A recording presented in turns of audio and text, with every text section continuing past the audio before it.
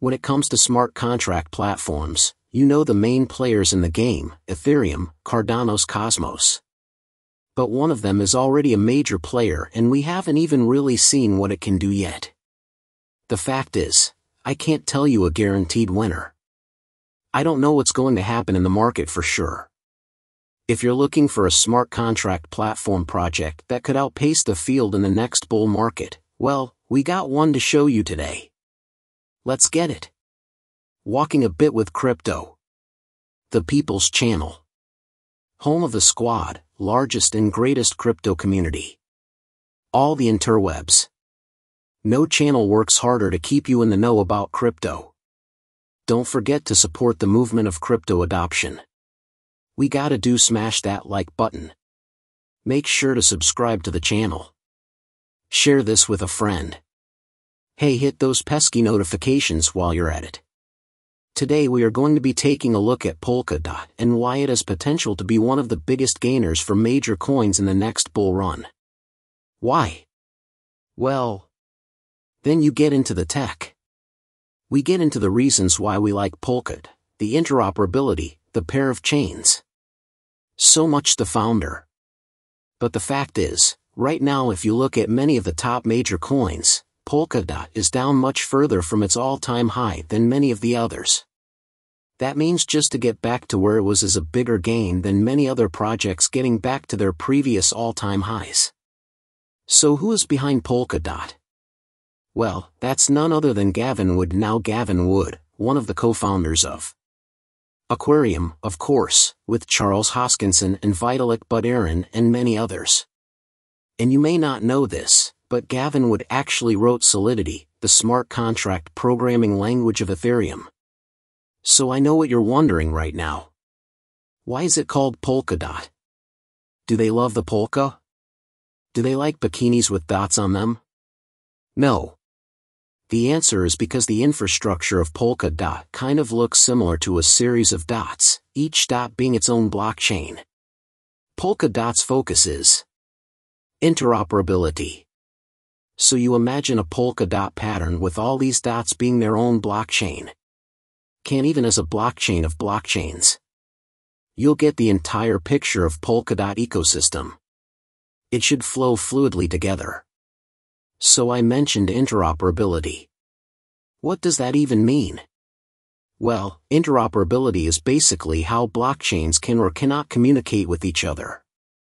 If a blockchain cannot communicate with another blockchain, then it's not interoperable. And think of Bitcoin and Ethereum like that.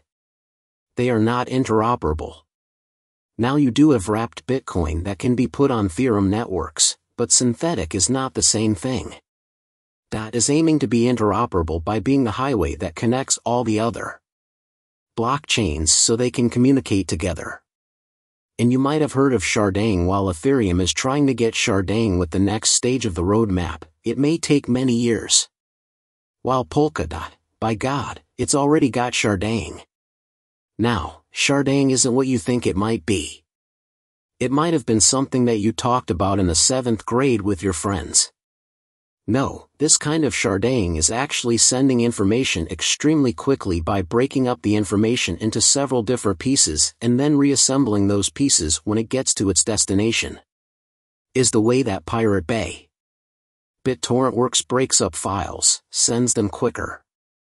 It's in a decentralized way. There's not one place that has all the information for the file when it gets to the destination, it all comes back together. Kind of like Voltron. Now Polkadot actually has a layer 0. We talk a lot about layer 1 blockchains, we just use that generally to refer to the type of smart contract coins in this space. Polkadot has a zero layer. This is called the relay chain. It's the main chain and it does not support smart contracts. So you've got the relay chain. Well, what does it connect to? Well, that's where the parachains comes in. I'm not talking about your favorite rapper. Two chains. Pair of chains. Love that joke. It's a great one. Thank you. Love you too. Para chain stands for parallelized chain. I have no idea if I said that word correctly, but the point is these chains run parallel to the relay. And what happens is they're all interoperable with each other. This infrastructure allows for an incredible amount of scaling. Now, right now there are 100 parachain slots. Companies have to run an auction in order to be able to win a bid to get one of the spots to become a Polkadot parachain. Right now there are 29 auctions that have been spoken for. So obviously if you want to buy Polkadot and you watch crypto, YouTube, then most likely you're interested in it because you think there could be some price appreciation. You think that there's some speculation that this could be a great project, leads to more users, and that the value could ultimately go up. Now I can't tell you whether or not that's going to definitely happen. In general, what we see is major crypto projects over time tend to go up. Of course, if you hold DOT and exchange somewhere, then you're just watching for it to go up. But DOT actually has a purpose in this ecosystem, while certainly most people invest in coins because of this price speculation. There's also ways to get involved with the network itself and with Polkadot, it's pretty easy how the amount of that you have determines how you can play a role in the community.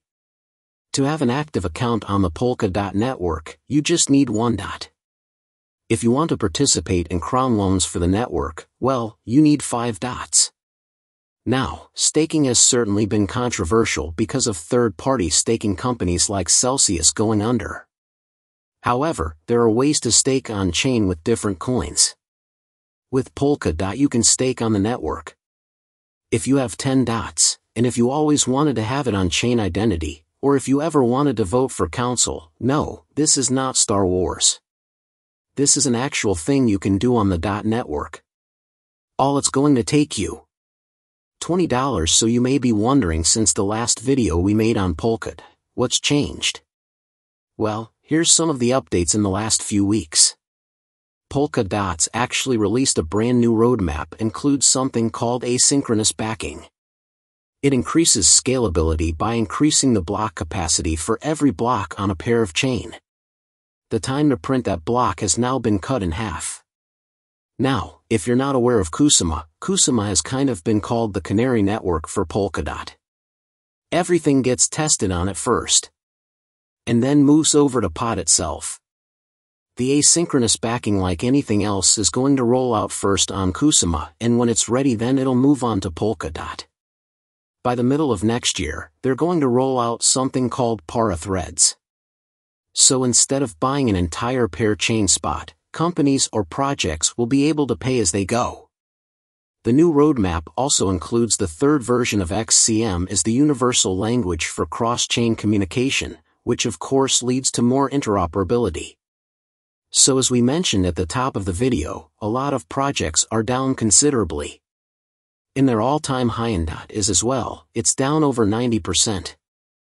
Well, if you look at Bitcoin, Ethereum and many other coins, they're in the 70% range, a 70% decrease from the all-time high. So you're looking for projects in the bull run that have a favorable chance to do well financially or speculatively. Some of these projects like Polkadot the following, the 90% and above range down to their all-time high. Well, just to get back to their all-time high, they've now made a gigantic increase in price. So if you were to look at this, it's a game where all coins. Back to all-time highs, we'll pull it out would be 20% more profitable than many other projects. So let's say Polkadot gets to where Bitcoin is now in market cap. Yes Bitcoin is number one. I don't think Polkadot's going to pass Bitcoin but as the entire market cap grows into the trillions and trillions of trillions of dollars, it's fun to kind of look forward and say if Polkadot was able to get more Bitcoin as now.